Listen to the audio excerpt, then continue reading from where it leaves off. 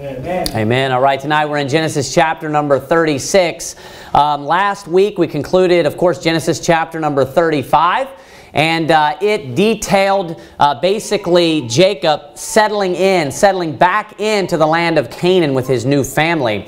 He settled back into the land, and of course, uh, we saw a few different uh, pretty prominent events take place. Uh, we saw uh, Rebecca's nurse died. We also saw that Rachel died. Uh, we and then another thing was uh, pretty much uh, the majority of what was going on was he traveled back to Bethel, and during that time, what he was doing was he was rededicating his life to serving God. And he was also uh, doing so for his, his entire family. He was making this decision for his entire family.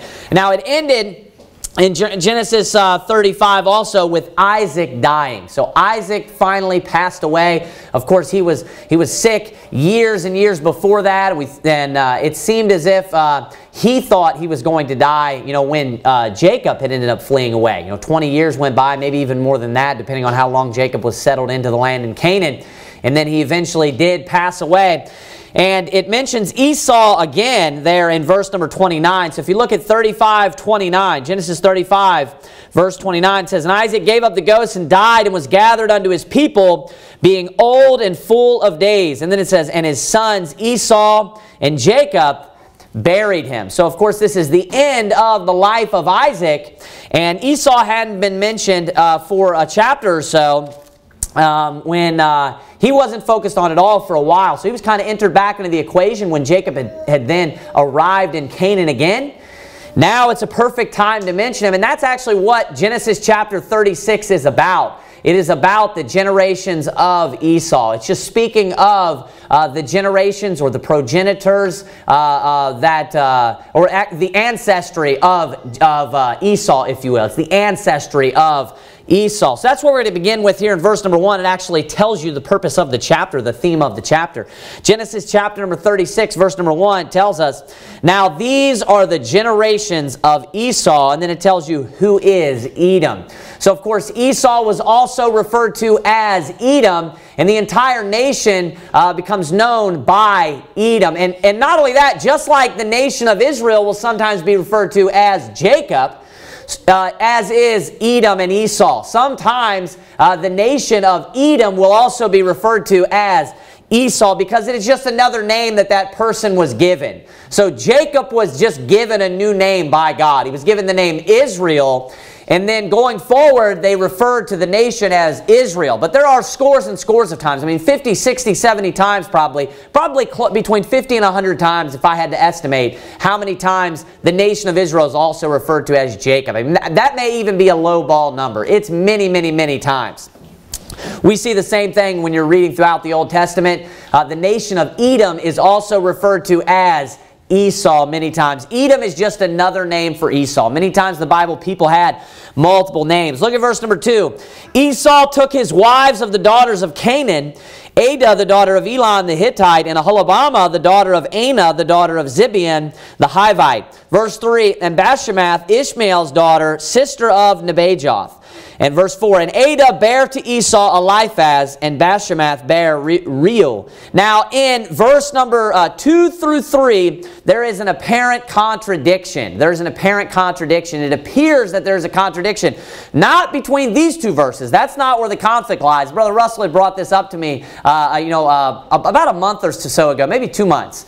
Um, and I'm going to, towards the end, I have illustration, I have a board over here uh, that I'm going to use to give you uh, the possible answers of how to make sense of the passages which seem to conflict. Now, I'll go ahead and say this now, and I'm going to get into this further later. Of course, we believe that the King James Bible is perfect. We believe that it is perfect and pure. God promised to preserve His Word. And there are things in the Bible that I believe are stumbling blocks unto the infidel. That's what they are. They are stumbling blocks uh, to the unbeliever. And oftentimes when you study these things out, those that have faith in the Word of God and they stay steadfast when they come out on the other side, they just have strengthened their faith in the Word of God. Not only that, you end up learning something most of the time. That's what happens most of the time when you, when you look into these and you study these, what seem to be apparent contradictions or, or supposed contradictions in the Bible, right? But we'll go to that at the end. Tonight's sermon's probably not going to be very long. The majority of this is, uh, it is um, as I'm sure you heard, it's the generations of Esau, as I had mentioned already too, and as you heard. Uh, we're going to keep reading there, verse number 5. It says, And Oholibamah bare Jeush and Jaalam and Korah. These are the sons of Esau, which were born unto him in the land of Canaan. And Esau took his wives and his sons and his daughters and all the persons of his house and his cattle, excuse me, and all his beasts and all his substance which he had got in the land of Canaan and went into the country from the face of his brother Jacob. Now I want to stop here and uh, um, give you the doctrine pretty much that you're going to get for tonight. You're going to get here in the beginning. Uh, first thing I want to point out how this is interesting, that Esau is dwelling in the land of Canaan. Jacob moves and comes to the land of Canaan, and Esau is the one who ends up leaving. And it, it, it, almost seems like it's voluntary, right, doesn't it? It almost seems like it, he willingly leaves. If you look at verse number uh, uh, 7, it says, For their riches were more than that they might dwell together. So they had too much possessions for them both to live together. And the land wherein they were, strangers could not bear them because of their cattle. Now, who was living there previously? Whose home was this? Uh, for a, a, long period of time. Of course, it was Esau's home, right? This is where he stayed here. This is where he was dwelling, at least in this general vicinity. He may have moved around some, you know, a few times, but uh, th that's speculation. He was the one dwelling here. And isn't it kind of interesting that when Jacob comes in, Esau's the one that leaves. When you would almost you know, think that that would be inverted. You'd almost think that that would be the exact opposite, where Esau was the one that was there. Uh, there's a couple of uh, what I think, because this is interesting, this is here for a, a, reason. There's a couple of things that, that are uh, possible about what's going on here. Number one, God may have put it into his heart for him to move. Number two, he may have already understood hey, Jacob's getting the blessing. That blessing was given to Abraham, to Isaac, and then ended up being given to Jacob instead of Esau. And what was the blessing when it was clarified to Abraham? Where, what were they getting? They were getting that land specifically. The, the blessing was that property, that particular land. That's exactly what was over and over again specified to Abraham. Esau is aware of that. He knows what the blessing is. He was well aware that there was a blessing. Isaac spoke to him about the blessing. And isn't it funny that Esau is the one that ends up packing up his things and leaving? Now, that's not coincidental. Whatever ends up happening there, whatever the purpose is, I don't believe at all that that's coincidental, that he's the one that ends up getting all of his stuff and saying, hey, I'm going to leave and I'm going to go here. When the, we know that that land was given to Jacob. We know that that promise was given to Jacob. I want you to turn to Hebrews excuse me, chapter number 12.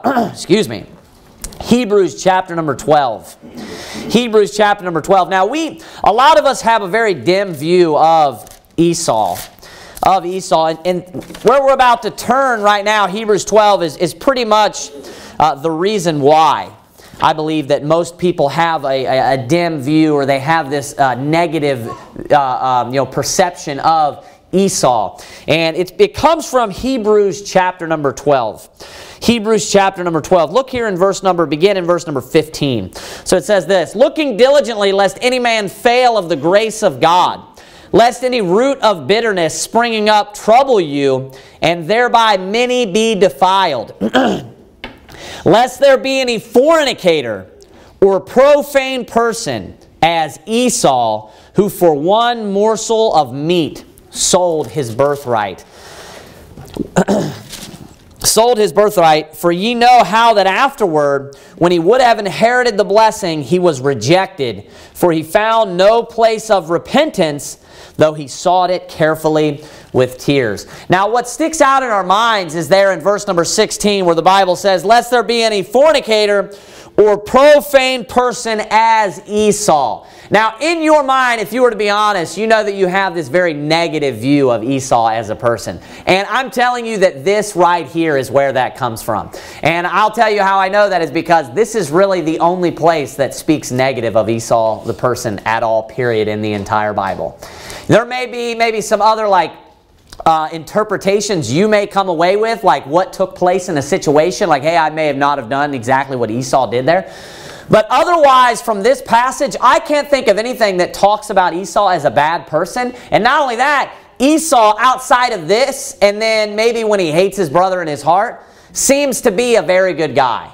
He's very forgiving. He has great grace with Jacob. He ends up, like we saw there a moment ago, whatever the purpose or reason, there's this conflict that's going on between their cattle and Esau ends up being, saying, being the one and saying, hey, I'll pack up my things and go.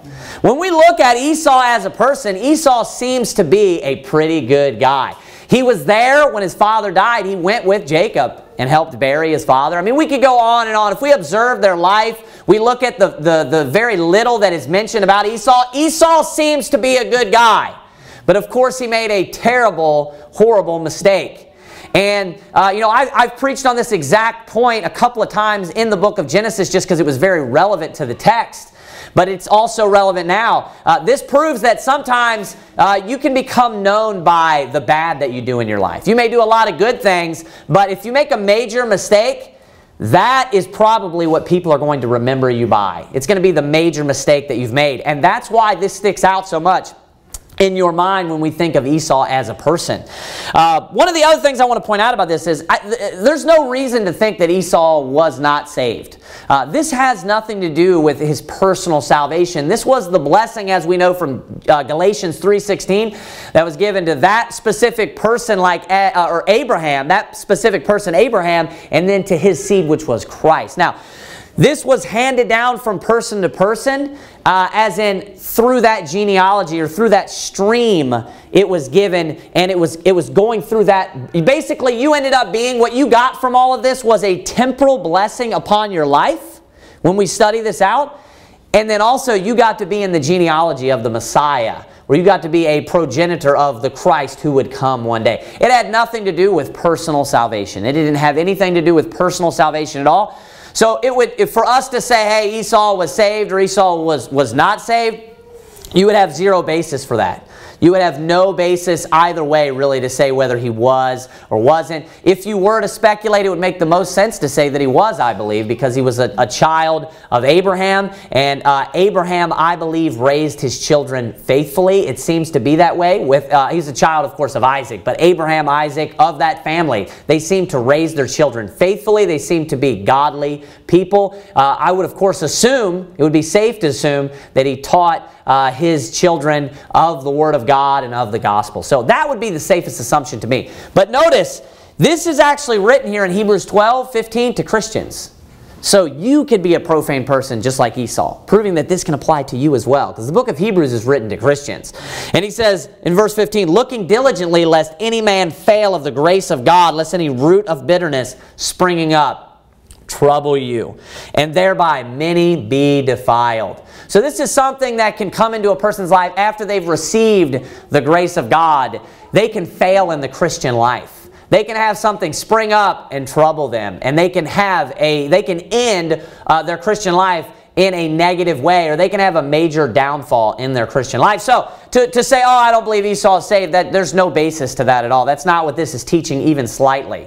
But this is the reason why we have a negative outlook on uh, the person of Esau is because he did one very, very stupid thing. He was willing to sell his birthright for a bowl of chili, pretty much, as people will say. That's basically what he did. For, for immediate gratification, he sold his birthright. I mean, which is obviously ridiculous and it's very fleshly and worldly. And I think from comparing Scripture with Scripture and the way that uh, Hebrews 12 looks down upon Esau's uh, decision, he wasn't uh, dying. He wasn't starving to death, obviously, or the Holy Spirit would not be, uh, you know, shaming him for what he did. He was obviously just hungry and he, uh, you know, uh, did not look at his birthright or esteem his birthright as being very important, obviously, is what took place.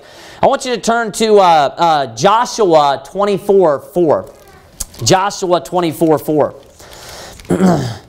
Joshua 24 4. A lot of tonight is probably going to be. Uh, it's going to be more laid back and it's going to be probably more review of things that you're familiar with already. Joshua 24 4. very likely going to be a shorter sermon as I, I believe I mentioned.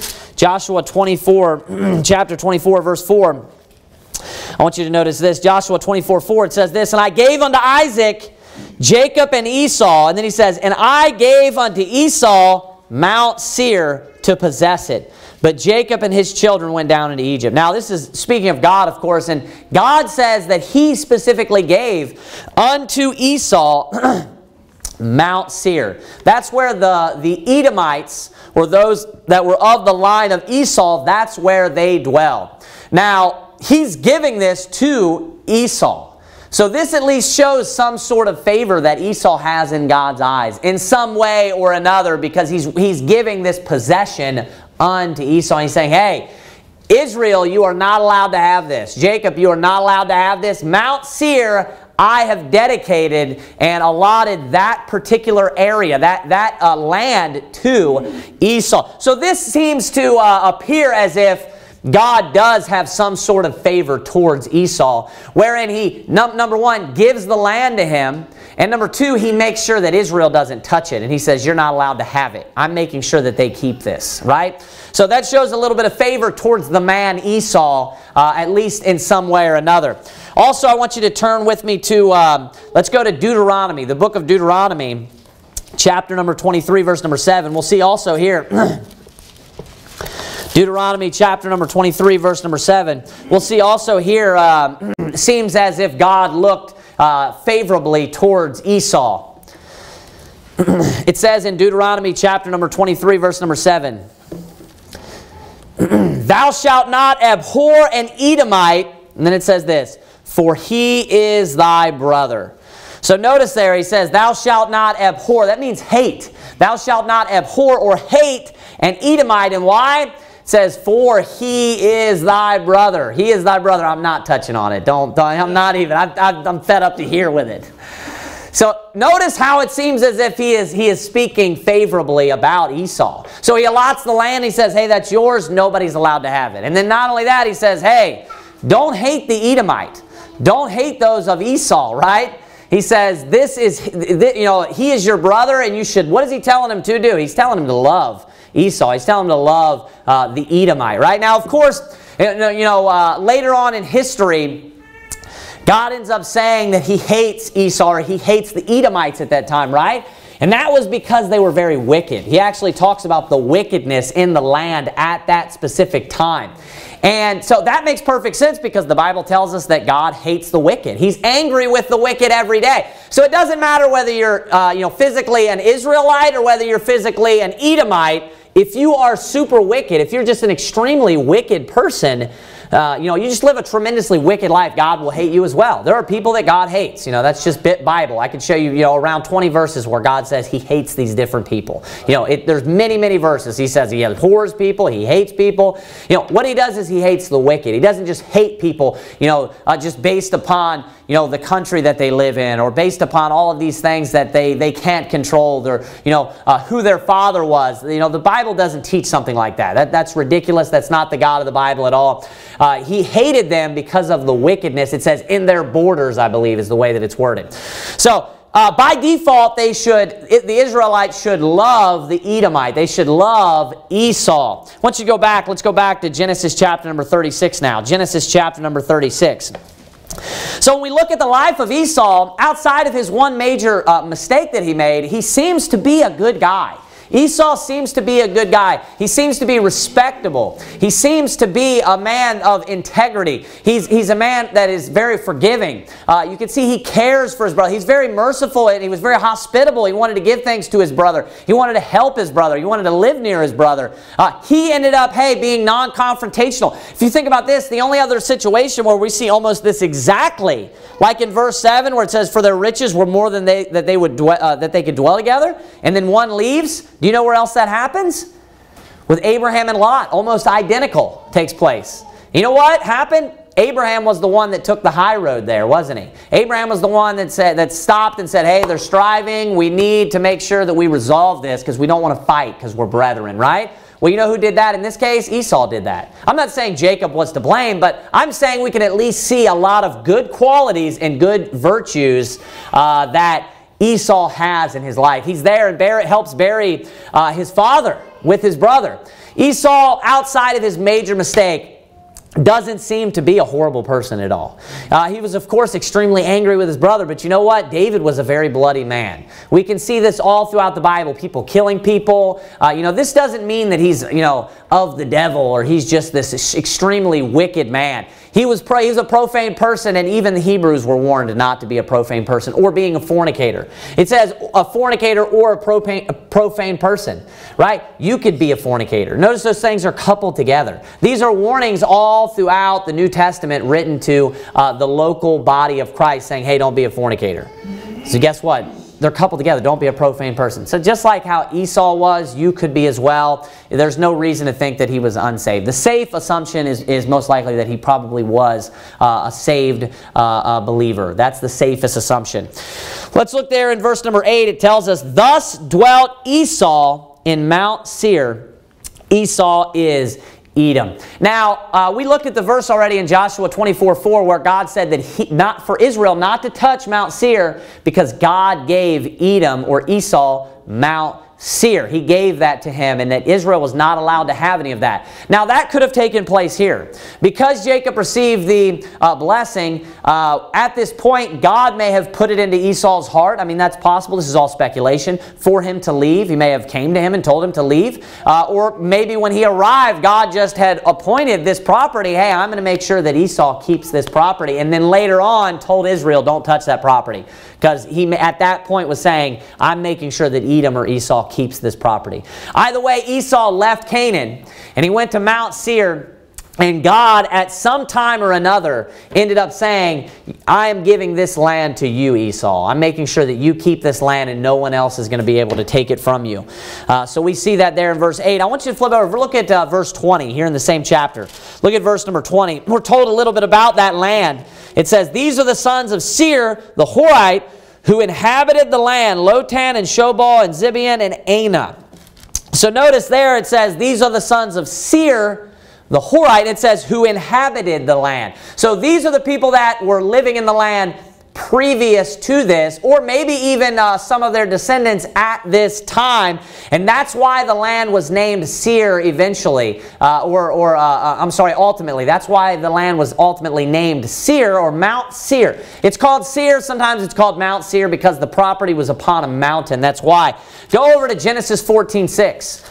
Genesis chapter number 14, verse number 6. a little earlier on, you can see that that uh, this group of people was actually, excuse me, dwelling in this land uh, much earlier at the time of Abraham, uh, even before Sodom and Gomorrah was destroyed. Look at verse number 6. It says, And the Horites in their Mount Seir unto El Paran, which is by the wilderness. So notice that the Horites were there even prior to Sodom and Gomorrah. So basically right there, to make sure that you understand uh, verse number 20, and when we'll get down to this in a moment, I'll make sure that I point this out, the delineation. Verse number 20 there is not speaking specifically of the Edomites or of those of Esau. It's telling you who indwelled that land previously and why it's referred to as Mount Seir. They were actually there long before Esau even existed, long before uh, Esau was even there. It was the Horites, H-O-R-I-T-E-S. The Horites dwelled there previously, and it was named after a man, Seir, who was Seir the Horite. So that is the land that he's dwelling in, and this is just telling you about that land that he lived in and, and who it was that lived there. Look at... Um, Go back uh, over uh, or back a little bit where we were before. We're going to begin reading again in verse number 10. It says, These are the names of Esau's sons. Uh, Eliphaz, the son of Adah, the wife of Esau. Reuel, the son of Basham, uh, Bashemath, the wife of Esau. And the sons of Eliphaz were Teman and Omar and Zepho and Gatam and Kenaz. And Timna was concubine to Eliphaz, Esau's son. And she bare to Eliphaz Amalek. These were the sons of Adah, Esau's wife. Now he's telling you, so uh, obviously if you're paying close attention there, it's speaking of each of the wives of Esau and which children they bear unto Esau. So keep reading there, verse 14. And these were the sons of Aholibamah, the daughter of Anah, the daughter of Zibeon, Esau's wife. and she bare to Esau Jeush and Jaalam and Korah. These were, the, these were dukes of the sons of Esau, the sons of Eliphaz, the firstborn son of Esau, Duke Teman, Duke Omar, Duke Zepho, Duke Kenaz. Of course, Duke is a position of leadership. It's of authority uh, similar unto a king. Look at verse 16. Duke Korah, Duke Gatam, and Duke Amalek. These are the dukes that came of Eliphaz in the land of Edom. These were the sons of Adah. and these are the sons of Reuel, Esau's son, Duke Nahath, Duke Zerah, Duke Shammah, Duke Mizzah. These are the dukes that came of Reuel in the land of Edom. These are the sons of Bashemath, Esau's wife. And these are the sons of Aholibamah, Esau's wife, Duke Jeush, Duke Jaalam, Duke Korah. These were the dukes that came of Aholibamah, the daughter of Anah, Esau's wife. These are the sons of Esau, who is Edom, and these are their dukes. So I want to point out one more time uh, while we're reading there in verse number uh, 19. Notice again it says, These are the sons of Esau, who is Edom. Now you may read over this, but it is important to understand that Edom was Esau's name. Again, I know I just pointed this out, but sometimes people don't get this. Edom was another name for Esau because it tells you plainly these are the sons of Esau. So it's not talking about his sons. That's proven. It's the sons of Esau, right? So it says, these are the sons of Esau. Who is Edom? So it's not talking about his sons, it's talking about the person. So Edom is not exclusively a name for the nation. It is just another name of Esau. Esau had two names, right? Esau and Edom. Esau and Edom, it's exactly the same as Jacob and Israel. You could refer to the nation of Israel just as much as, uh, as Jacob as you can Israel. So that's important to understand. Sometimes people think that Edom just refers to the nation. No, either one does. Uh, you know, one may be used predominantly in a specific context. Yes. You know, Esau may be more of the name that we use when we speak of the person. But they are both just as much his personal names. And one of his personal names ended up being the predominant name that they referred to the nation by. That's what happened.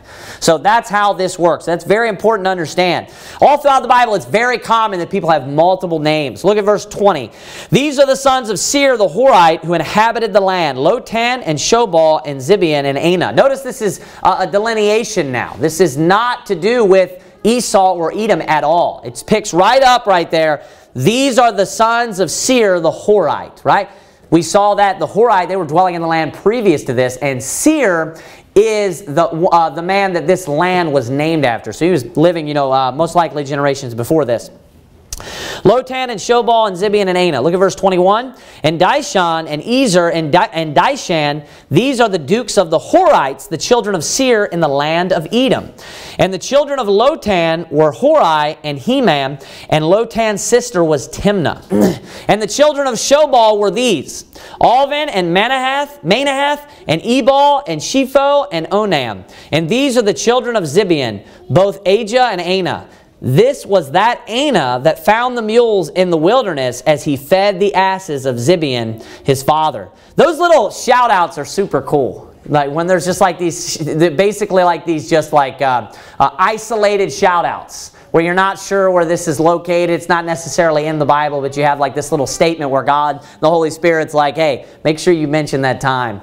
You know, maybe he was obedient to his father or whatever it may be, but he wants to make sure, the Holy Spirit does, that you mention this particular work or, or uh, uh, uh, act that this man did. It's very interesting because uh, it seems, of course, out of, out of place and out of context, but of course we can learn from it. Verse 25, he was serving his father. That's why I mentioned that. It's most likely he was being obedient unto his father. Look at verse uh, 20, where are we at? 25 now. And the children of Anah were these, Dishon and Aholibamah, the daughter of Anah. and these are the children of Dishan, uh, Hemdan and Ishban, Eshban and Ithran and Cheran. The children of Ezer are these, Bilhan and Zaavan and Akan. The children of Dishan are these, Uz and Aran. These are the dukes that came of the Horites. Duke Lotan, Duke Shobal, Duke Zibeon, Duke Anah. Duke Dishon, Duke Ezer, Duke Dishan. These are the dukes that came of Hori, among their dukes in the land of Seir. Now I want you to notice too, it's interesting that it says these are the dukes that came of Hori. So that's not plural anymore, right? So Hori obviously was a, an ancestor to Seir. right? That's why Seir was an Horite, right? So uh, he was of the Horites, he's referred to as. So th there is actually a mention of another patriarch, because there's these different delineations with patriarchs, right? Because you can say Abraham, Isaac, Jacob, just like you can say David, just like you can say Shem, right? Uh, you know, people will say like a, a Semite. You know, so that's just a specific point of delineation in a genealogy. And then you, so you can do that point and use him as a patriarch, which is going to be a more vast genealogy. Or you can skip down a few generations and narrow it down more and say Abraham. He's a different patriarch at a different time period of, you know, of a more specific line or uh, tribe, if you will. Uh, and then, you know, of course, there's 12 tribes that come from him as well. Uh, look there in verse number 31. And these are the kings that reigned in the land of Edom before there reigned any king over the children of Israel. And Bela, the son of Beor, reigned in Edom. And the name of his city was Dinhabah. And Bela died, and Jobab, the son of Zerah of Bozrah, or reigned in his stead. And Jobab died, and Husham of the land of Timnai reigned in his stead. And Husham died, and Hadad, the son of Bedad, who smote Midian in the field of Moab, reigned in his stead. And the name of his city was Avith. And Hadad died, and Samlah, or Samlah of Masrekah reigned in his stead. And Samlah died, and Saul of Rehoboth by the river reigned in his stead. And Saul died, and Baal-Hanan, the son of Achbor, died in his, uh, or I'm sorry, reigned in his stead. And Baal-Hanan, the son of Achbor, died, and Hadar reigned in his stead. And the name of his city was Peu, and his wife's name was Mehetabel. Mehetabel. Uh, where I go? And the daughter of Matred, the daughter of Meza, Mezahab. Those words just got, those names just got a lot more difficult there all of a sudden. Brother Russell spends a few minutes reading that over there. I should have done that myself. uh, where are we at here? Verse number 40. And these are the names of the dukes that came of Esau according to their families, after their places, by their names Duke Timnah, Duke Alvah, Duke Jetheth, uh, Duke Aholibamah, Duke Elah, Duke Pinon, Duke Kenaz, Duke Teman, Duke Mibzar, Duke Magdiel, Duke Iram. These be the dukes of Edom according to their habitations in the land of their possession. He is Esau. Now watch this. The father of the Edomites. Notice now how it's used as a name to refer to the entire nation, right? To refer to this tribe or this nation, if you will. Now, one thing that I want to point out to you, we're going to see this name used uh, uh, earlier on as well, and this is going to play into this. And, and I really should have went through and found how many times this happened, because I, I, think I read over, I did. Uh, uh, so let's look at it. I just found it just glancing around. Look at verse number 41. It says Duke Aholibamah. Now, is that a woman or a man? That's a man, right? Duke of Alabama, right? Well, we saw that name earlier, and that's going to be relevant here in just a minute. Look at verse 25. It says, And the children of Anah were these, Dishon and Aholibamah, the daughter of Anah. So there we see Aholibamah mentioned again. This time, this is referring to a woman. This is not referring to a man. So I want you to notice there that this name is used about a man but it is also used about a woman. And I was mentioning uh, a moment ago about I was going to go over some of the apparent discrepancies. I'll get that in just a moment. There are a couple things I want to look at first. Let's go to Psalm chapter number 12, verse number 6. Very familiar verse with everyone here. Psalm chapter number 12, verse number 6. In just a moment, we're going to back up in the, our chapter there and look at verses, uh, I believe it's 2 and 3. We're going to look at this supposed discrepancy. Our starting point is that the Word of God is perfect and pure and there's no errors. I believe that by faith. I, I believe that by faith when I first sat down and read the Bible as a Christian, as a saved, born-again believer, I believed that this book was perfect. I believed that this was the Word of God. Amen. I believed that this was the Word of God. I really and truly did. Um, as reading, you know, after reading the Bible many times, you know, right around 26, 27 times through right now, I will tell you this, that I am even more convinced today that this is the Word of God. The more times I spend reading the Bible and the more times I spend studying the Bible, I, the more convinced I become that this is the Word of God. Uh, the Bible is powerful. It, it, has more power than any piece of literature that has ever been written. This book has so much authority. That's why all these cults, when they hear it, they love to get a hold of it because it has great authority. It has great strength. There's a lot of power in the Word of God. If you were to speak to any person that is a, uh, uh, you know, that studies literature, right, that that is their background, in, in, in, in almost any um, uh, field uh, that would be related to literature, it is so widely accepted that the King James Bible in particular is the greatest piece of literature that has ever been written, that exists on this planet. I mean, that I'm not just blowing smoke up here. That is accepted across the board. Richard Dawkins, the, the biggest God hater that walks this earth, said that the King James Bible is the greatest piece of literature. But then out of the other side of his mouth, he talks about how a bunch of goat herders, and he just hates the God of the Bible, of course, right? So he, he tries to make it sound like it's uneducated and ignorant and things like that. But then he talks about the greatness of this book. You know, this book is amazing. And I'll tell you, I want to say this before we get into this. You know, a parent, and, and a parent, the word apparent comes from like appearance right? It's how something appears, apparent. An apparent contradiction is something that appears that it's a contradiction, right? So this is something that looks like it contradicts, but of course it does not because the Bible is perfect and it is pure. The, one of the major things that stuck out to me and continues to just blow my mind when studying the Bible is the, the, the amazing consistency of the Bible. I mean, the amazing consistency of the Bible in so many different ways the historical references, the time periods. I mean, there are so, the quotations, the doctrine of just multiple authors. You know how many authors there were of the Bible?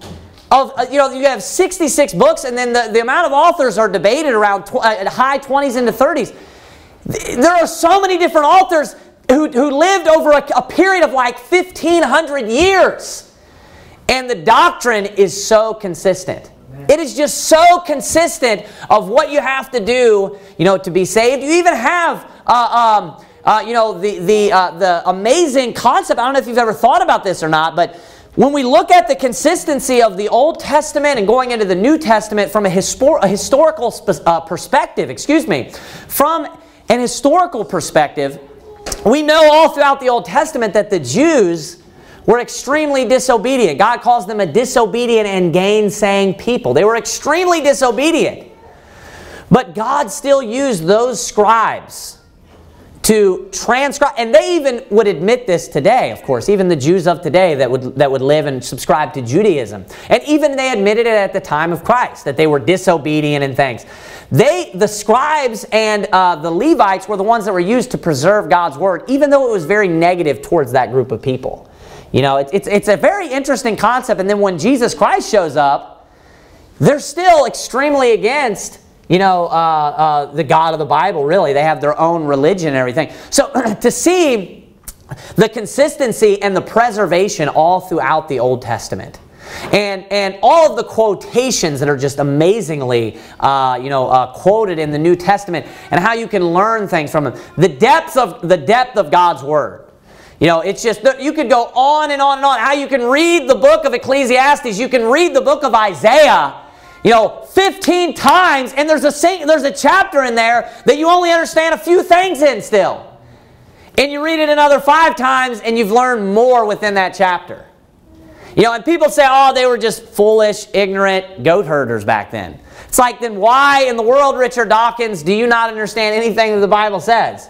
I mean, give him a, a complex chapter in the book of Ecclesiastes and say, hey, I want you to, you know, crack, I want you to explain to me this proverb. He wouldn't have a clue. Of course, he doesn't have the Holy Spirit inside of him.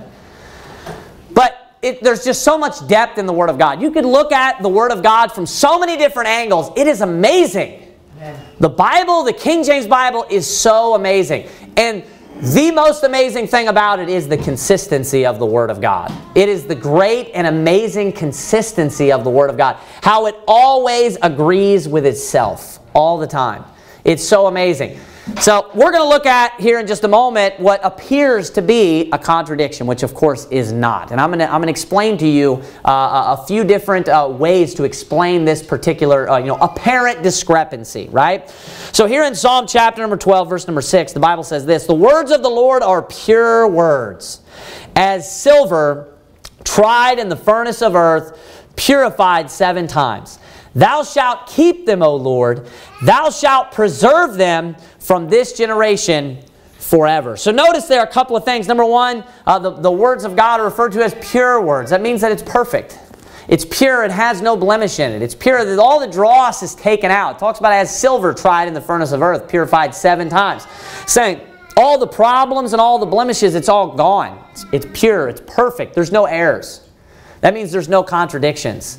It's all correct. It's all truth. Jesus said, Thy word is truth. I believe that this is the word of God. Flip over with me to Proverbs chapter number 30. We're just going to look at a few verses here that tell us the, the uh, speak of the perfection of God's word. Speak of the purity of God's word. Look at Proverbs chapter number 30, verse number 5. We'll see this again. Notice this. It says, Every word of God is pure. He is a shield unto them that put their trust in him. So notice what it says. Every word of God is pure. So it's not just some of the words. It's not just all the Word of God in general. People try to say that. Well, the NIV is the Word of God. The King James Bible is the Word of God. Even though they all say different things. No, no, no. It's, you know what the Word of God is? It's speaking of, the Word of God will be used, but it's speaking of the perfect, pure Word of God. And they all can't be the Word of God if they all contradict. It's not possible.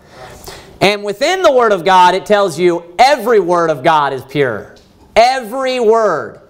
So I believe that we have every word today. We saw the preservation there. I, I forgot to point that out in Psalm 12, 7, the very next verse. He spoke of how, he says, Thou shalt uh, keep them, O Lord, thou shalt preserve them from this generation forever. Jesus spoke about how, he said, Heaven and earth shall pass away, but my word shall, shall not pass away, right? So the Word of God will never pass away. The Word of God is pure. Every word, like this says, every word of God is pure. Every word. So there are no contradictions in the Word of God. It is pure. It is perfect. This is exactly what God spoke. Exactly. Jesus Christ said in Matthew chapter number 4, He said, Man shall not live, verse number 4, Man shall not live by bread alone, but by every word which proceedeth out of the mouth of God. Every word. And you know what? Every word is pure. That's our starting point. I believe the Word of God. And if I feel like, let me say this too, go to Genesis uh, uh, 36. If I feel like something contradicts, then I'm the problem. I'm the problem. I need to be smarter. I need to study the Word of God more. I need to, you know, uh, to uh, uh, study the Word of God more and, and, and show myself approved as a student of the Word of God. If I feel like something contradicts, then I'm the one that's wrong and the Word of God is right and it is correct. Because it is always pure and it is always correct and is always perfect. So here in Genesis chapter number 36, uh, you might want to take your bulletin. If you got a couple of pieces of paper, that'd be even better. Uh, but Genesis chapter number 36, there, verse number 2 and 3, we're going to read those again right now because this is our text, of course.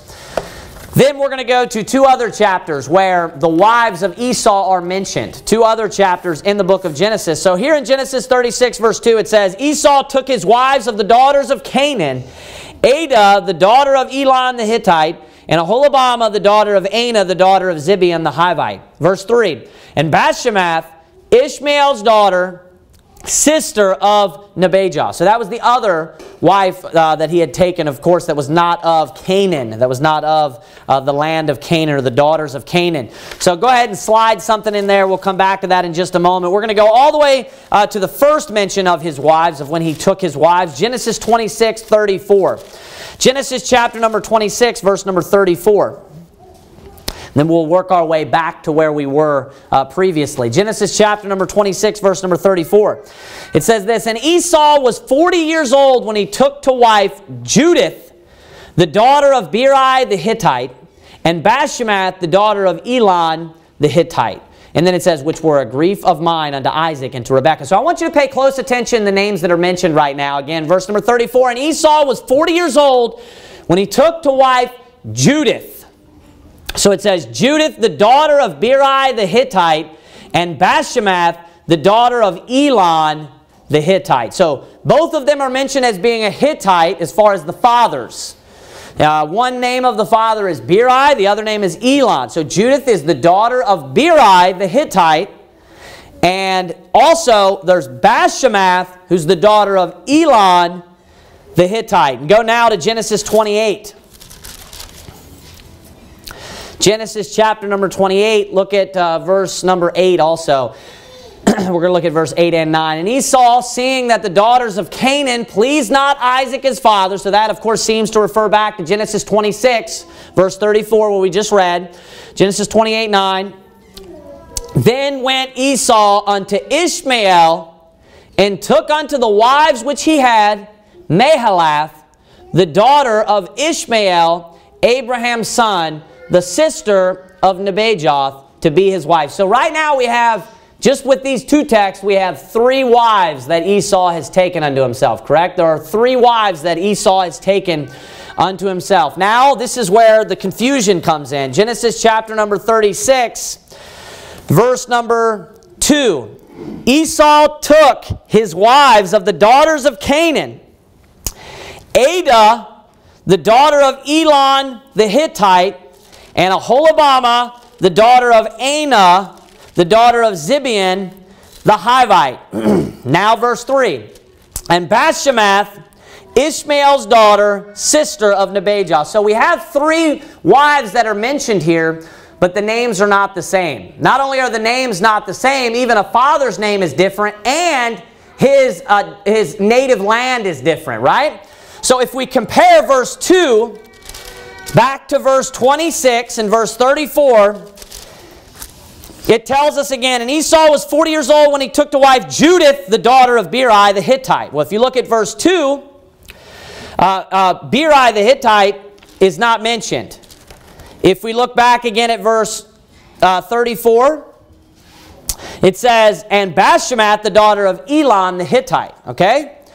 Well, Elon is mentioned there, and uh, it's Adah, the daughter of Elon the Hittite. Over here, it was Bashemath, the daughter of Elon the Hittite. So there you can see where someone would could say, hey, this is a discrepancy, or, you know, someone that doesn't believe the Word of God, they'd say, hey, the Bible has a contradiction, right? Not only that, if you compare uh, Genesis 36, verse 3 to Genesis 28, uh, verse number 9. Let me flip back over there Genesis 28. So I'll read to you Genesis 36, 3. It says, And Bashemath, Ishmael's daughter, sister of Nebajoth. Okay, verse number uh, 9 in Genesis 28, 9 says, Then went Esau unto Ishmael and took unto the wives which he had Mahalath, the daughter of Ishmael, Abraham's son, the sister of Nebajoth, to be his wife. Okay, so I'm going to be using an illustration here in just a moment. I do want to talk about a couple of things first before I get into that. Number one, I spoke about having faith in uh, you know, the Word of God, right? Having faith in the Word of God, that is where it begins, right? That is where it begins. Number one, number two, I want to talk about a, uh, a contradiction. Now, a contradiction, something that has to be, that is proven to be a contradiction, uh, you know, has to be, it has to be proven without any shadow of a doubt that, that these, both of these things cannot be true, right? So in order to prove a contradiction, what you have to do is you have to show that Genesis chapter number 26, uh, you know, is, is, true. Or, you know, you could, if you tried to demonstrate that none of them were from, you know, a God hater's perspective. But that's not my point right now. What you would have to do is you'd have to show of Genesis 26, Genesis 28, and, and Genesis 36 that all three of them are not possible to be correct all at the same time. Does everyone understand what I'm saying? Now, so in order to prove a contradiction, in order for somebody to say, hey, case closed, the Bible's not true, you would have to show texts, uh, you know, uh, three texts, two texts, whatever it is, just in general, con a contradiction. To prove a contradiction, you would have to show texts that conflict to the point where it is not possible that they can all be true at the same time. Does everyone understand what I'm saying? Now, that's the only way that you can prove a contradiction. That, that to prove, absolutely prove a contradiction. So what I'm going to do is I'm going to show for you a, a few. Now, do I know 100% the, the, the uh, possible answers that I'm presenting to you tonight are correct? 1 million percent? No, I don't know that. But I'm going to show you ways in which these things cannot be contradictions. Did everyone catch the statement that I just made? I'm going to show you ways to where you can uh, assemble the names and everything using, using principles from the Bible.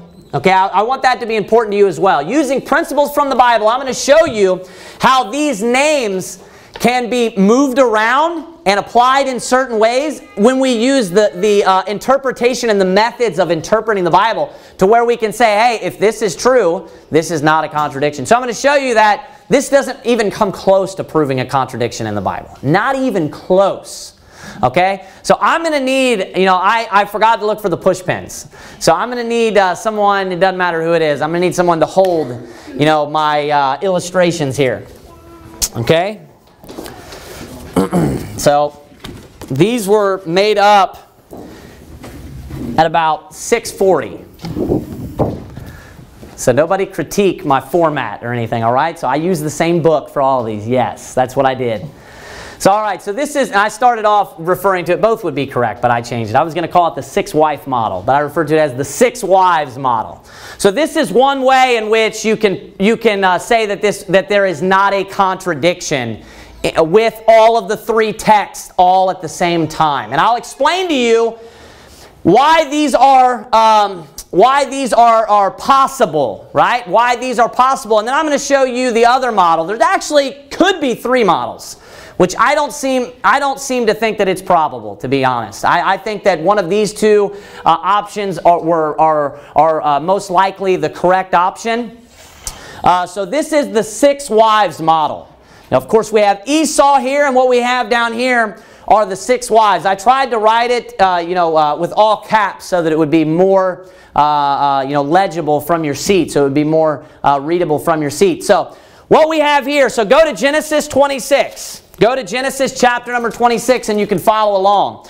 Genesis chapter number 26, verse number 34, we have two daughters uh, of the Canaanites, right? Two daughters of the Canaanites. It tells us, and Esau was 40 years old when he took to wife Judith, the daughter of Beeri the Hittite. Okay? So this would be one wife.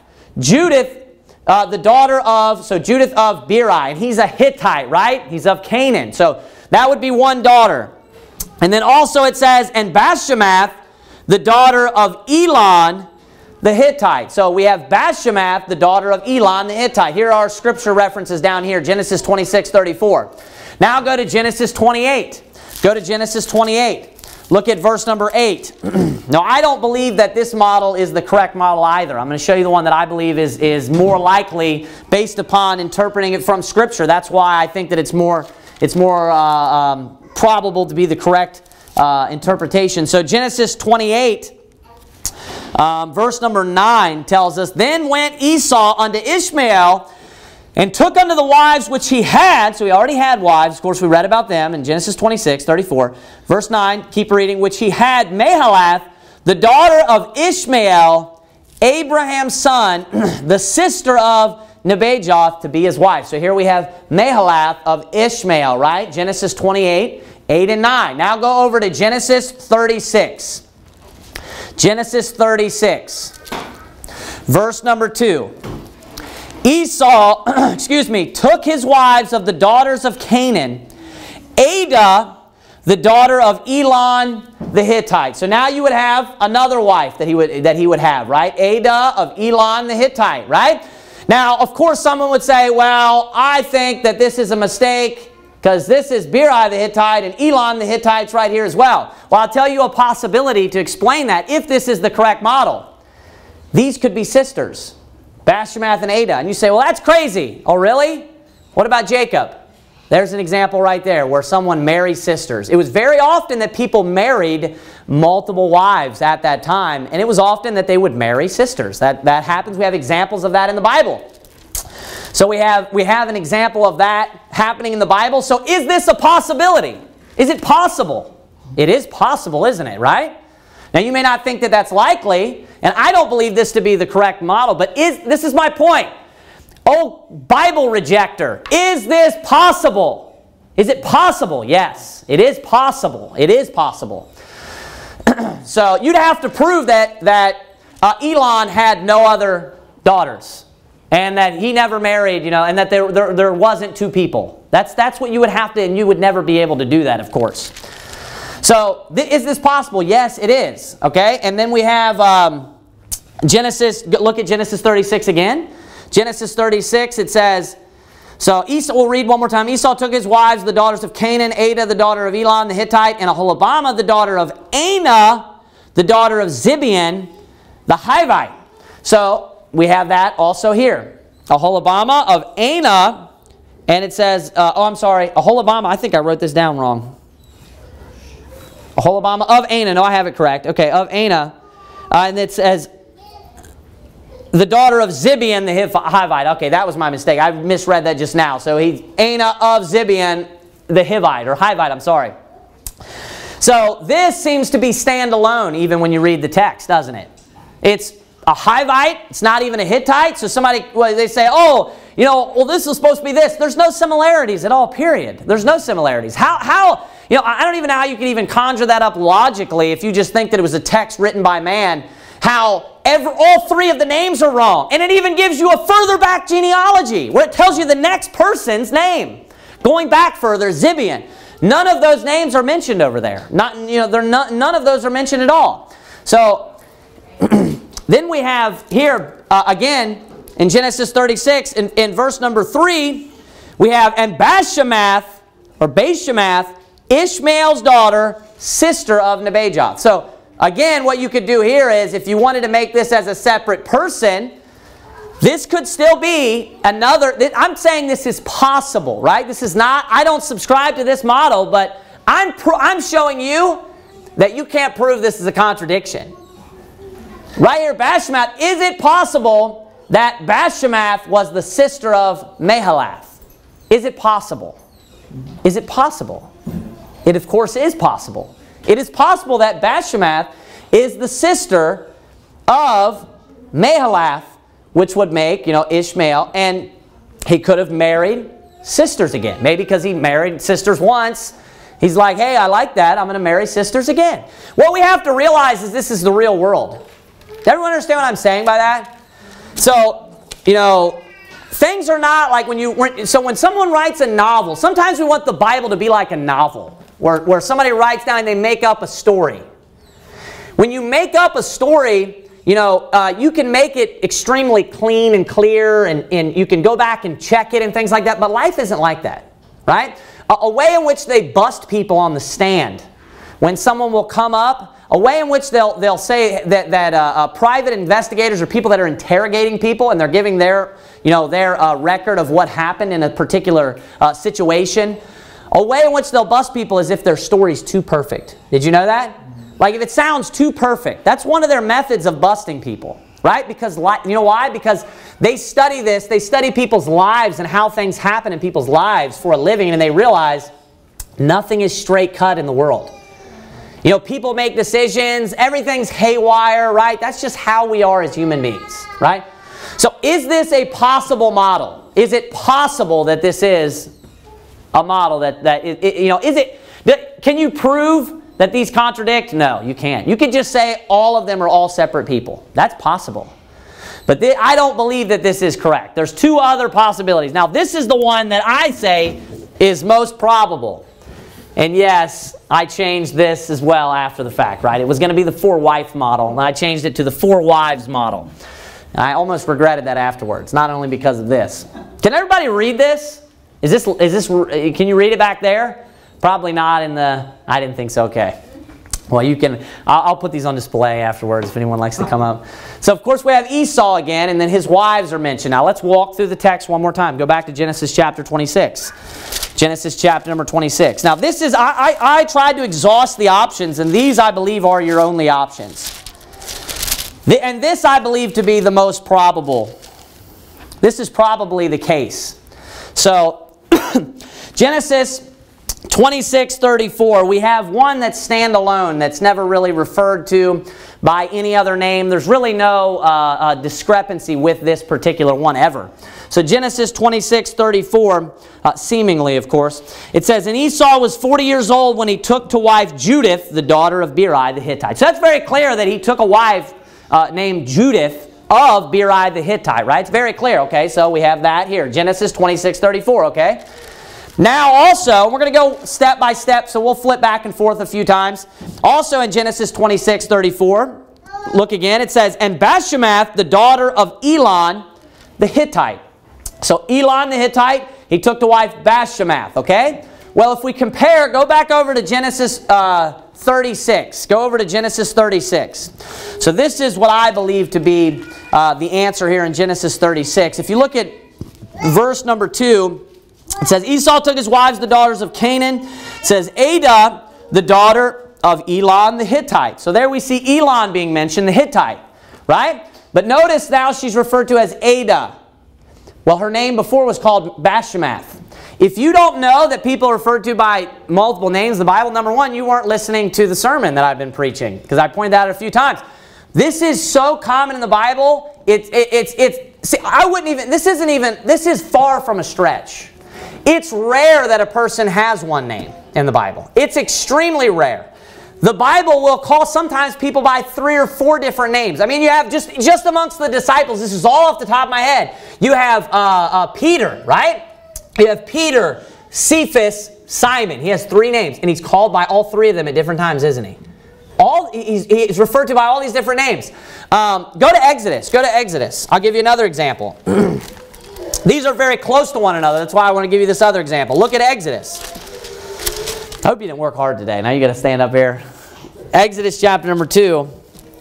Look at, uh, okay, I got to find this. Look at verse 17. Look at verse 16. Now the priests of Midian had seven daughters, and they came and drew water and filled the troughs to water their father's flock. Okay? Verse 17, And the shepherds came and drove them away, but Moses stood up and helped them and watered their flock. And when there came to Reuel, their father, so notice Reuel, their father. So this, he's the priest of Midian, right? This is, and of course he ends up marrying them, right? Skip down, uh, he ends up marrying Zipporah, is who uh, his daughter is, uh, Reuel. Look at, verse, look at uh, chapter 3, verse 1. Now Moses kept the flock of Jethro, his father-in-law. Do you notice that? One more time, Exodus 3, 1. Now Moses kept the flock of Jethro, his father-in-law. And then it says this, the priest of Midian. Notice that. Just within a few verses. It just uses them interchangeable. This is just an example. There are so many times people have multiple names. The kings are called by multiple names all the time. Joshua has like four names in the Old Testament. You have reading throughout the book of Jeremiah, you have Nebuchadnezzar, Nebuchadnezzar. Nebuchadnezzar. They go back and forth. It's not even Nebuchadnezzar all throughout one place and then Nebuchadnezzar all throughout the other place. It goes back and forth. Nebuchadnezzar, Nebuchadnezzar, Nebuchadnezzar, Nebuchadnezzar. All the time in the Bible. I mean, let, let me tell you this. Like I said before, if you don't have two names, that's, that's rare. That's, you're the oddball. Sometimes people have three and four names. People have multiple names in the Bible. So this is extremely common. Extremely common. Super common. Okay, so that makes perfect sense. And the father is the same father, right? Elon the Hittite, there's consistency with the father's name. The only thing that we see a difference of is there's a different name that's used, right? And a lot of times in the Bible, uh, people will name people by their family. Like if there's someone else in the family. Now, if, if you notice, he married of the children of Canaan. Over and over and over again, we see the name Adah, Anah, Adah, Anah, and there's talking about different people. Over and over and over again. When John the Baptist was born, do you remember what his father said? Remember what they said to him uh, uh, when he was getting ready to name his son? I can't remember what, they, what he was going to name him. They were going to name him something else, and then he ended up saying, no, his name's going to be John. And they were like, but nobody in thy family, none of thy kindred's name is John. Because so it's, it's very weird to name them a name that none of thy kindred had. My point is this. They all keep the same names. And they just keep recycling the same names over and over and over and over and over again. When you look at, um, um, where's that at? John 19. Go to John 19. I'll give you another example of this. John chapter number 19. When you look at the women that were following Christ,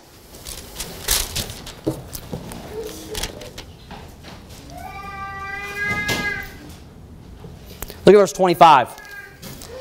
Now there stood by the cross of Jesus his mother. What's his mother's name? Mary. Okay, look at the next part of it. And his mother's sister, Mary the, the wife of Cleopas, and Mary Magdalene. So you notice what all of their names are? Mary. Now, you may think that's weird today, but that's because this is a different culture.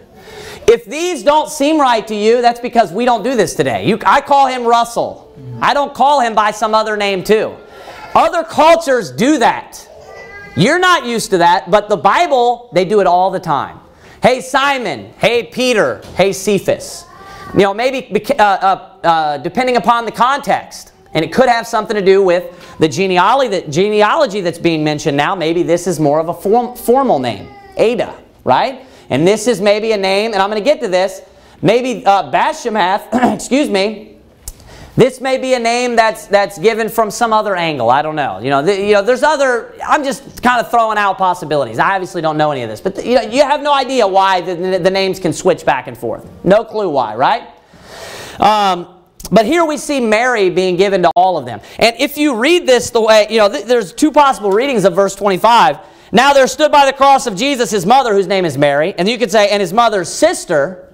And then if you said Mary, the wife of Cleopas, so if, if his mother, you know, I don't interpret it this way, but if, you know, uh, the wife of Cleopas is Mary's sister as well, then you have two brothers and sisters being named Mary. People do that. Sometimes, I know a guy in Tempe who named, what is it, seven kids? Chris. Right? Was it seven? Seven or six. All of them are named Chris. Do you know why that's weird to you, all American? But they do that in other countries because you know Hispanics will do that. Well, they'll name their kids the same name. And they'll have another name that they refer to them by. You know, do you think he says, Chris, Chris, come here, Chris, come here, Chris, come here? No, he has another name that he refers to each child by. Chris something, or Chris something this, or Chris something that. So you know what they, he does? They all have the same name, you know, one particular name, but then they all have a second name that he calls them by. do you understand how? You may not be familiar with this, but that's because we have a different culture today. So this is a uh, this I believe is the the what makes the most sense. This is the most probable answer. Elon, the Hittite, we see the consistency of who this is, right? Okay, now let's look at Genesis 28. Genesis chapter number 28. Genesis chapter number 28. This is where we see Ishmael's daughter being mentioned. Ishmael's daughter. Genesis chapter number 28. Verse number 9. Genesis 28, 9 says, Then went Esau unto Ishmael and took unto the wives which he had Mahalath, the daughter of Ishmael, Abraham's son, the sister of Nebajoth, to be his wife. So here we see he took unto him Mahalath, right, of Ishmael, right? Now, let's look at the other text, um, Genesis 36. So compare, we're going to compare this, where she's mentioned again, I believe it to be the same person. Genesis 36, verse 2. Look at, I'm sorry, verse 3. And it says, And Bashemath, Ishmael's daughter, sister of Nebajoth. So here, this is obviously the same person. This is extremely consistent. It's number one, it's Ishmael's daughter. Number two, it's you know it's the same even title, sister of Nebajoth, right? Before she was called Mahalath. Now she's called Bashemath, right? I believe this clearly to be the same person with just a different name. Most people in the Bible's Bible have multiple names. Now, I'll give you my, th that other one I just came up, uh, you know, with on a whim a moment ago about maybe this is a more formal name and that's why it was given that. But that wouldn't make sense because now she's referred to as a, as a right? Or you could say that, you know, that it doesn't matter the name. The name is not necessarily what's, what's formal. It could be maybe your primary name. And maybe they want it in a, in a genealogy he wants to make sure that he uses the primary name that this person goes by, right? This could be a nickname. Uh, you know, uh, Bashemath could be a nickname of Elon, uh, or vice versa. You have no idea, right? We're, we're not sure about this. This is obviously the same person here.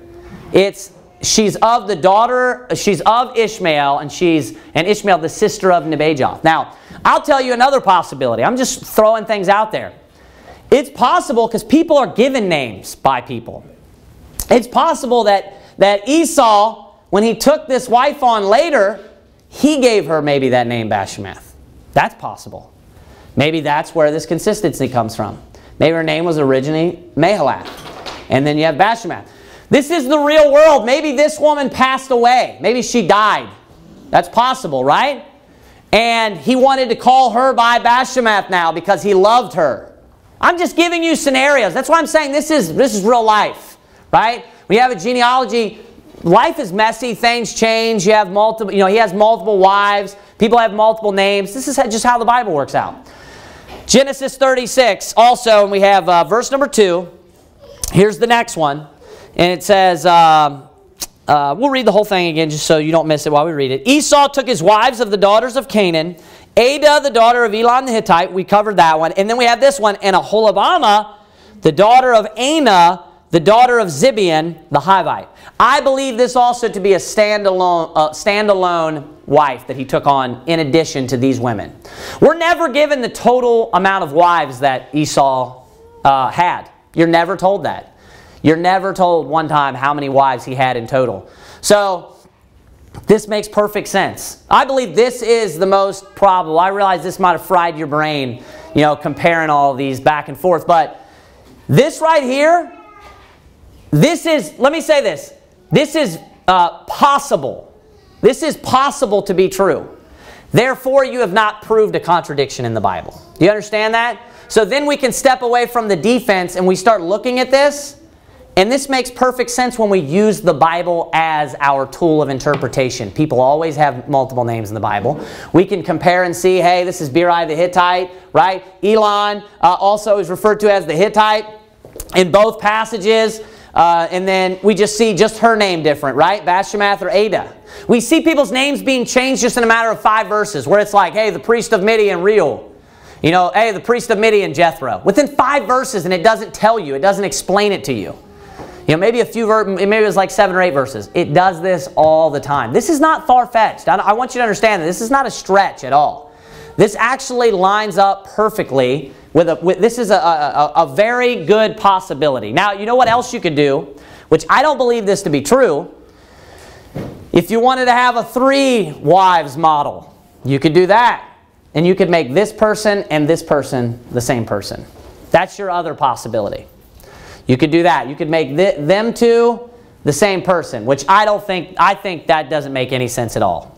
That makes no sense at all because we're given great detail uh, about the fathers. Beeri is a Hittite.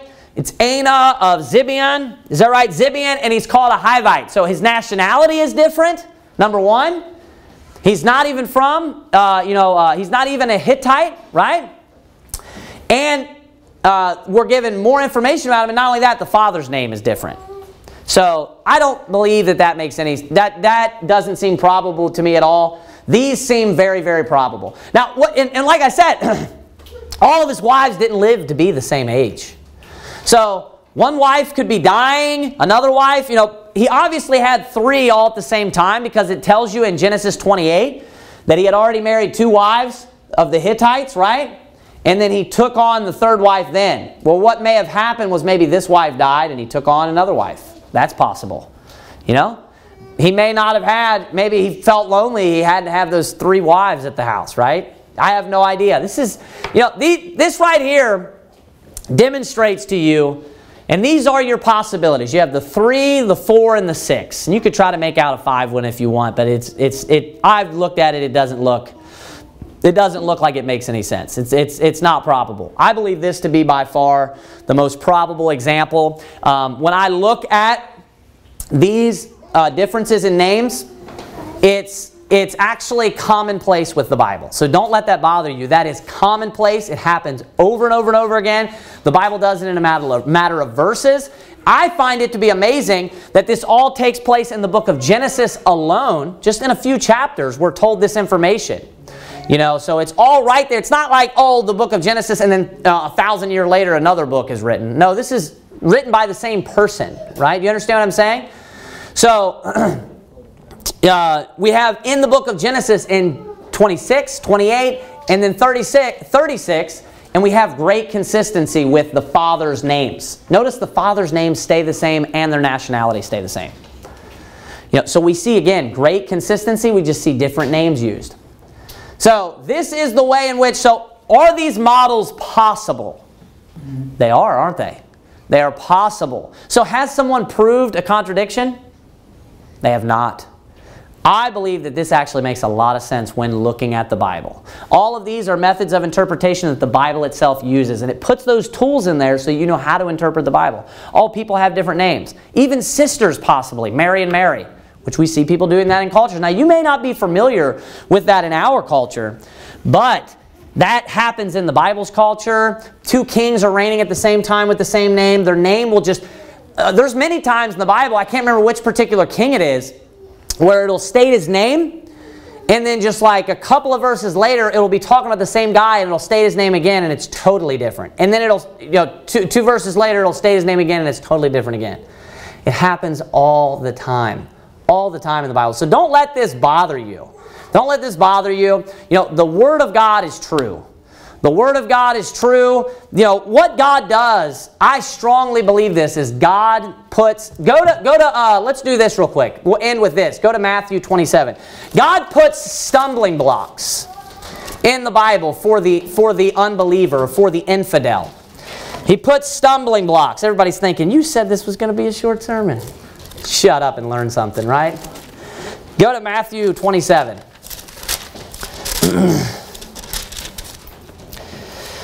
God puts stumbling blocks in the Bible, but when you compare things, you know what you do is you learn something every time. You learn something. to those that have faith in the Word of God, they study the Word of God out. It makes perfect sense, and it strengthens your faith in the Word of God.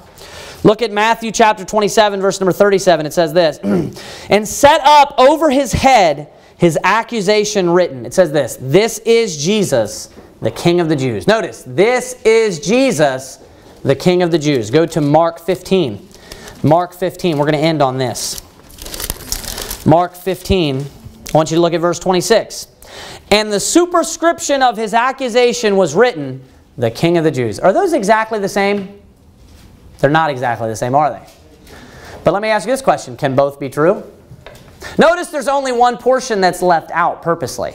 The other one said, this is Jesus, and then it said what this says, the King of the Jews. So this is exactly what Matthew 27 said, but just a little portion left out. Now, the, the purpose for that is the different Gospels, we have four gospel, uh, four stories of Jesus' life, four Gospels, because we learn different things from each of them, and they all have different themes, right? They all have different themes, and they're, they're trying to get different truths apart uh, uh, across, I'm sorry. They're trying to get different truths across to us. So what God will do is He will uh, tell you a story from a certain angle to get a specific truth apart. So there'll be a theme that carries all throughout. So right here, He just tells you a portion of what was written above His, his, uh, his cross because there's a certain theme that He wants to, to get across, right? But notice both are true. Now, could you see how somebody could point out and say, hey, that's a contradiction?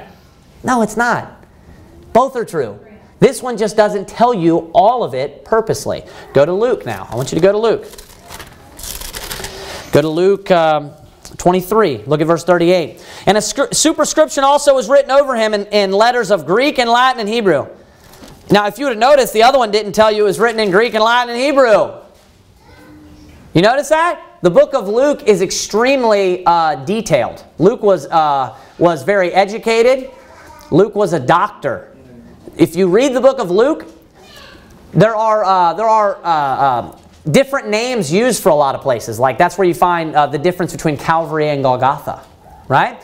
You see different names, geographical names that are used for different places. There's a lot more detail about where do we find the Christmas story when it talks about how, they, how, how Joseph and Mary went to be taxed. Where do we find that at? The book of Luke. Why? Because there's historical details that are in the book of Luke. So that's one of the angles of the book of Luke is it's more detailed. It comes from more of a an, uh, you know an educated, uh, detailed perspective. That's why he gives you that information there: Greek, Latin, and Hebrew. He gives you all three of the language. Notice what it says: "This is the King of the Jews." now, does that contradict Mark 15? No. Mark 15 said, "The King of the Jews." does that contradict Matthew 17? Uh, Matthew 27? No, because it said, this is Jesus, the King of the Jews. Do you notice how they're all three true, but God chooses, hey, I want to word it this way this time. All three of them are true. All of these things were written above his cross. All of them. Now go to John. Go to the book of John. go to John 19. Look at verse 19. John 19, 19. John 19, 19. and Pilate wrote a title and put it on the cross, and the writing was, Jesus of Nazareth, the King of the Jews. Now I want you to notice how there's a little bit of a difference in each one. But when you put all the letters together, do You know what you get? This is Jesus of Nazareth, the King of the Jews. And if you lined all of those up next to each other, none of them, now I want you to catch this because you need to understand the actual meaning of contradict. None of them contradict. Not one of them. When you put them together, do you know what you get? You get the full picture. You get more information. And not one of them is worded in such a way where both, both uh, John 19 and then Matthew 27 can't be true. No, they both can be true. They're worded in such a way where both go together perfectly, grammatically. They make perfect sense and you're given more information. And the, I have my own explanations of why the differences are and how they fit with the theme. What's the theme of the book of John? He's God. So it makes perfect sense. Now, almost all throughout the Bible, it's, it's talking about him, how he's being God, how he's God, how he came from heaven, right? And he's not talked about as a man very much. Not talked about, he is a man, of course, he was fully man, right? When he's dying on the cross, you know what you see a lot of? His humanity. Right? And you know what it mentions? Hey, this is Jesus of Nazareth. Do you know what Nazareth is? It's a, specific, it's a city where a man was born. So it's, it's, it's balancing out the whole book of, of John, stressing and emphasizing the fact that, hey, this is God. This is God. And then you get here in John 19, you have this little bit of detail that the other ones don't give you. And it's Jesus of Nazareth. Because he is truly a man in the flesh and dying on that cross all at the same time. So you can have your own explanations of why, but the whole point is this. When you compare, isn't that amazing? I want you to think about this for a minute. When you compare all these supposed contradiction and supposed discrepancies, this book was written by, by over 30, they say 29, like I said, to 32 authors, something like that. Or I'm sorry, 39 authors. It's 39. They say 39 authors is what people will believe. Some people say, you know, 40. Depends on your interpretation of who wrote Hebrews, right? So 39, 40 authors. And there's not a single time in this huge book where, where 39 to 40 authors on like, what is it, three different continents, three different continents over a span of 1,500 years, you can't prove a contradiction in this entire book. That's amazing. Not only that, the greatest people, the, the, the smartest people in the world in the subject of literature, right? They look at this book and they say this is the greatest piece of literature that has ever been written. It's the most preserved book. We have more manuscripts of this book and the consistency of the manuscripts. Hey, there's a big deal because the Word of God is extremely important between, between the, um, the New Modern Bible versions and the King James Bible. That's a huge deal. But when you look at all the manuscripts, all of them, people that study manuscripts, they say that they are like 99.999% the same. That's even including the Alexandrian, all the Alexandrian texts, Alexandrinus, Vaticanus, and Sinaiticus. Even including these texts that are vastly different, you throw those into the equation, it's still 99.999. There is no piece of literature that is preserved like that on this planet. There's nothing. And, and a God hater can't even, they, can't, they could spend their entire life studying this book and they can't even find something and say, hey, I've proved without a shadow of a doubt that's contradiction. If someone, if you tried to compile a book and put men together writing a book over 1,500 years, do you think you'd be able to find a contradiction just men doing this? You'd find contradictions on every page. Really, because of how fallible man is. So, you know, what we, what we walk away from this and what we see is, once again, the fact that, that this is an argument that atheists use and try to say, hey, we've proved a contradiction. No, we can put this together using, using methods of interpretation from the Bible itself and how people, you know, at that time named one another and all of that. We can put a system together where it makes perfect sense with the, with the list and the little bit of a difference. Just like we see the, the little bit of a difference in the names above the cross of Jesus. But do all of them come together and flow together perfectly? perfectly. 100% perfectly. So once again, you just show that this thing is just, it's undefeatable. The, if that's the best you got, I mean, step back and think about that. That's the best that they have. just proves that this is the truly preserved and pure Word of God. You may have a different interpretation of how to explain, you know, uh, the wives and the seemingly, the difference, what seems to be the difference there. But the fact that you can prove that is shadowed out, that it's that it is, uh, you can't prove that it's a contradiction, and you can, and and a lot of it can make sense. That just strengthens my faith in the Word of God. What it does is, uh, God wants you to study. If everything, may, you know, was just like you sat down, and it was just on the surface, straightforward, it made perfect sense the first time you, you read it, why read the Bible again? Why read the Bible? How many times have you read something and it seemed like it contradicted and seemed like it didn't make sense, and then later on you find out, I was wrong. That actually made perfect sense. Now I see in the Bible how people do this, this, and this. That makes perfect sense why that was worded such a way. So we just, you know, I walk away from this seeing, you know, the Bible, the King James Bible is amazing and we can just learn from these types of uh, uh, what you know seems to be differences. All the differences in the Bible. Let, I don't want to ramble on too much longer, but let me use a perfect example of this.